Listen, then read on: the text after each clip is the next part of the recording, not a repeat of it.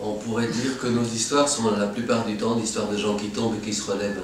Mais c'est peut-être tous les clowns d'ailleurs, l'histoire de la thématique préférée des clowns, et pas seulement parce que pour la chute qui est un élément dramatique euh, intéressant et qui, peut être parfois drôle, mais c'est aussi euh, pour ceux qui suivent, c'est-à-dire les moments où on se sent un peu, on, a l'impression qu'on a fait une, connerie, on est humilié, on, reprend une composition et, on se dit qu'on ne refera sûrement jamais plus cette même erreur. Et puis si on est un clown, euh, trois mètres plus loin, on va se reprendre la même euh, chute. Et, c'est une histoire, euh, voilà, c'est ça, ça nos histoires.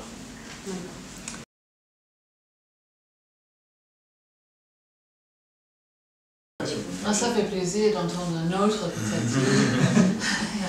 J'adore Jacques Demy, je, regarde ça en boucle, c'est génial. Oui, moi aussi. C'est un oublié de, de, nos références, mais bien sûr. Mais bon, tu parlais de, Tati, mais il y a Chaplin, il y a Laurel et Hardy, il y a Pierre Etex, il y a Max Linder. Euh, nous, et Laurel tu as parlé Laurel et Hardy, ouais.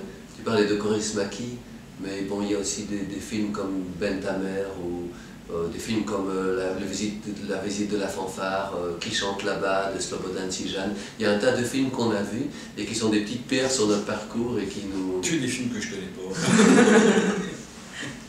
Peut-être, mais en tout cas pour nous deux qui, qui, ont, qui ont nourri notre, notre écriture.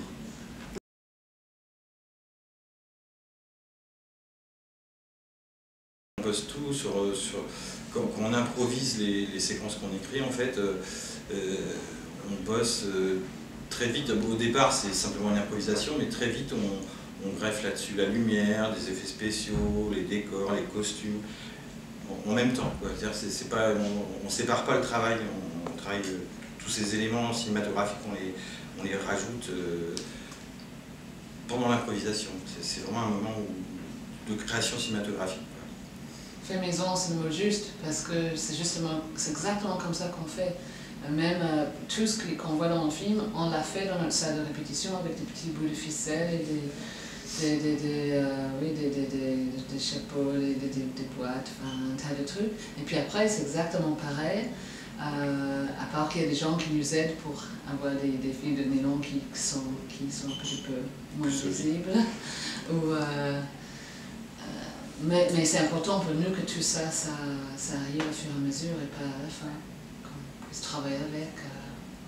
C'est l'imperfection qui nous intéresse dans le jeu, dans nos personnages, l'imperfection humaine, mais aussi on le place dans, dans le cinéma. Donc c'est pour ça on Sent, on sent la maîtrise de, enfin, de l'image, en fait, du cadrage de l'image, que tout est calculé en fait. Voilà, tout est calculé et aussi cette, espèce, enfin, on essaie de trouver une complicité comique avec le spectateur euh, dans ces effets spéciaux. C'est pour ça que dans les, vieux effets spéciaux, il y a une, la trace de l'humain. On, voit la, les traces de doigts des techniciens dans un sens. Si on fait de la mer, on va, on va sans doute euh, privilégier une mer qui sera faite avec des seaux d'eau. C'est-à-dire que les techniciens sont des côtés de l'écran qui nous balancent des seaux d'eau ou des gobelets d'eau à la figure.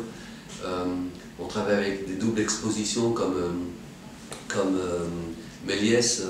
c'est parce que c'est pas de la nostalgie même, mais c'est des techniques qui sont... Euh, c'est poétique. C'est poétique, c'est un peu comme des enfants qui jouent avec une boîte d'allumettes et cette boîte d'allumettes devient un autocar et puis une maison et puis... Il y a une espèce de... dans le minimalisme et dans, dans ce genre d'effets spéciaux, on dit des choses aussi. Autant que... Puisqu'on n'utilise pas beaucoup la parole, euh, nous, euh, comme auteurs, on place notre parole aussi là-dedans, comme on la place dans les couleurs par exemple.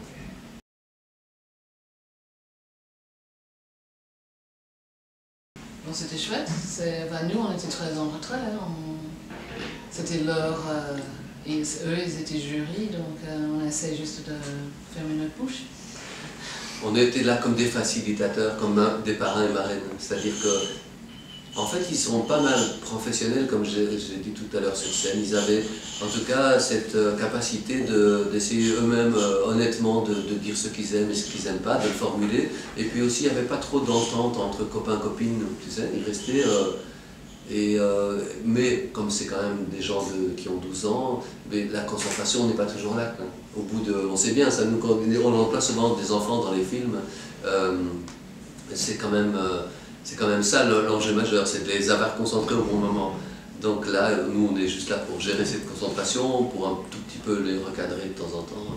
Puis la, sélection était... L'intérêt des enfants vient aussi de l'intérêt de la sélection qui était super.